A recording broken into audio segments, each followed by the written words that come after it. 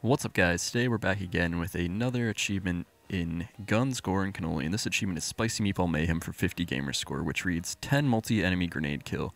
Now I'm at the area right before the last checkpoint in the outskirts, and I'm waiting for a bunch of zombies to pile up here. As you can see, I have about three sailors, three police officers, two tan guys, and a crawler, and then these two guys from the left are running over.